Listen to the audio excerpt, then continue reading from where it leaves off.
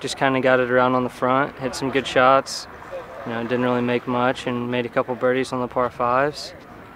Um, made the turn, and my caddy was talking about now all we're doing is playing to sleep in. So let's see what you got, and you know, kind of caught fire on the back.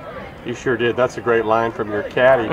uh, how do you like this golf course? I mean, I mean, 900 par must fit your yeah. eye. Yeah, the course is awesome. The job that these guys have done since last Saturday is unbelievable.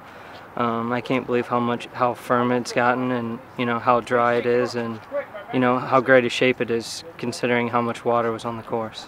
What's your approach? I mean, are you trying to keep the ball in the fairway so you can attack, or are you just trying to bang it as far as you can? You know, I, I'm just trying to keep it in the fairway as much as I can. The flyers out here are tough to judge at times, and you know, fairways are premium, so you know, whatever you can do to get it in the fairway.